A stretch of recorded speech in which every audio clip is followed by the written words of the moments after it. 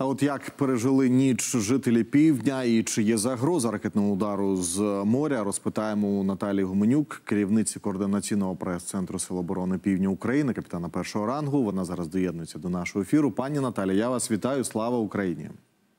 Героям слава вітаю вас, пані Наталя. Сьогодні ворог вночі е, знову з повітря атакував Україну. А яка от на ранок оперативна ситуація е, на півдні нашої країни?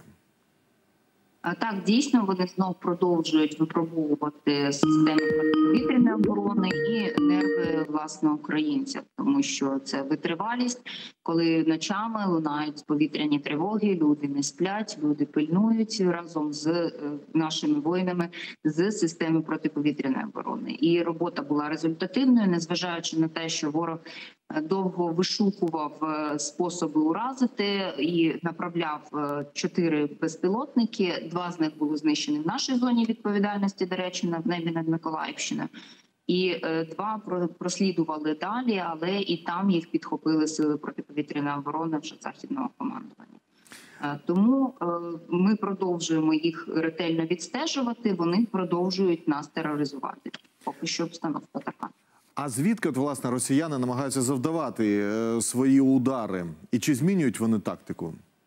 Останнім часом вони намагаються випробовувати різні напрямки саме для того, щоб дійсно переконатися, на якому з цих напрямків система протиповітряної оборони може мати якісь прогалини. Але ми працюємо пильно з усіх боків 360 градусів навколо. Щодо ворожого корабельного груповання у Чорному морі, яка кількість зараз кораблів е, на чергуванні у них?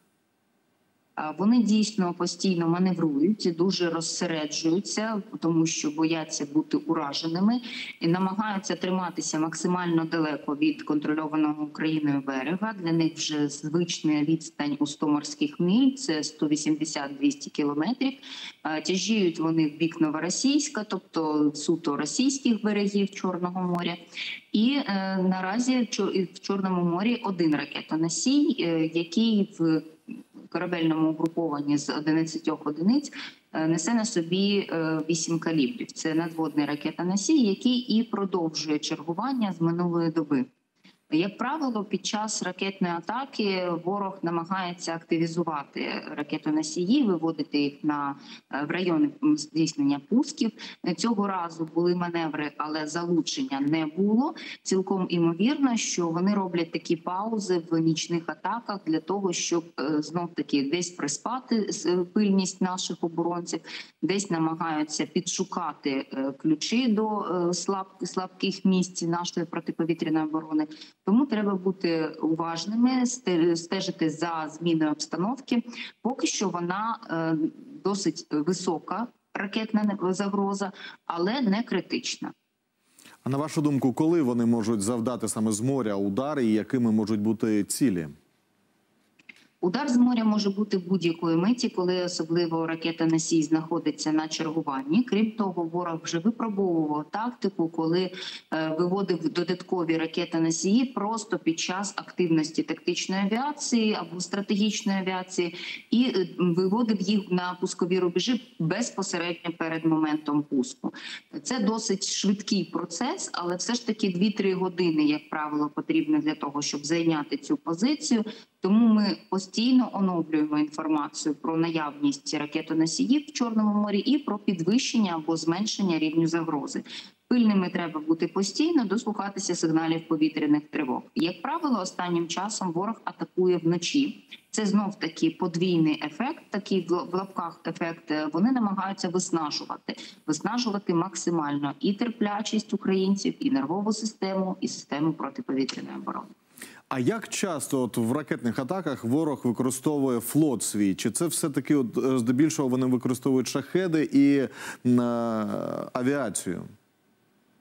Е, загалом активність помірна на всіх напрямках. Вони намагаються комбінувати максимально для того, щоб е, дійсно розсередити зусилля нашої протиповітряної оборони, тому що в такому випадку необхідно стежити і за повітряною активністю в двох напрямках, і шахетному, і ракетному, коли активні ракетоносії повітряного базування, і за морською активністю, коли є на чергуванні, зокрема і ракетоносії підводні, тому що пуски виявити саме з них трохи складніше. Тому е, наявність різного напрямку і можливостей застосування ракетної атаки це якраз спрямоване на виснаження нашої системи. Пані Наталя, 21 травня наші сили оборони знищили над Чорним морем винищувач е, Російської Федерації Су 35 Е, Чи маєте інформацію, завдяки чому це вдалося так е, знищити його? І власне подробиці цієї історії? Ми знаємо, що літак знищено. Ми знаємо, що пілот, скоріш за все, загинув, але не всі результати бойової роботи можна одразу висвітлювати. Нам ще боротися з цим ворогом, і на цьому напрямку також. Тому не всі свої секрети ми розкриваємо одразу. Пані Наталя, за тиждень вже от власне починається літо, і звісно, що люди підуть на пляжі відпочивати. Чи буде от залишатися е, небезпека на березі Чорного моря і в інших містах? Чи будуть закриті ці е, місця? Е, На жаль, небезпека залишається. Вона дійсно е, є і досить потужна, як в самій воді, тому що море заміноване, територіальне море України, зокрема, містить понад 400 морських мін з огляду на те, що самі окупанти, коли проголосили про цю небезпеку, позначили кількість мін, які може знати тільки той, хто безпосередньо замінував море. Е, За цей рік, е, з початку самого року, вже понад 20 е, таких вибухонебезпечних об'єктів було нами знищено, але на жаль, не всі контрольовано. Часом вони вибухають і безконтрольно, і в такому випадку завдають шкоди навколишнім місцевості на відстані до 200 метрів, якщо це стосується узбережжя. Нагадаю, що підрив такої міни безпосередньо в воді може уражати усе живе на відстані до кілометра. Тому це може обернутися пошкодженням внутрішніх органів, коли ви знаходитесь в воді, а міна здетонувала на такій відстані. Тому небезпека висока, небезпека е, є. Е, Її треба усвідомлювати Е, з огляду міської влади. Робляться додаткові е, кроки для того, щоб облаштувати альтернативні місця відпочинку. Якщо вони будуть облаштовані з безпекової точки зору відповідно, тоді напевно і будуть е, проголошені як відкриті. На даному етапі робота ще триває. Крім того, залишається дуже високою небезпека повітряна, тому що ворог досить часто атакує саме рекреаційну зону, зону вздовж узбережжя. Якщо подивитися аналітику прильотів, які були зокрема в Одеському регіоні, це так і є. Е, Тому необхідно, щоб люди, які будуть відпочивати в таких облаштованих місцях, мали можливість перейти в укриття і почути сигнал повітряної тривоги. Дякую вам дуже, пані Наталя, за цю розмову, за те, що ви знайшли можливість доєднатися до нашого ефіру. Гарного вам дня. Це була Наталя Гуменюк, керівниця координаційного прес-центру Сил оборони Півдня України, капітан першого рангу.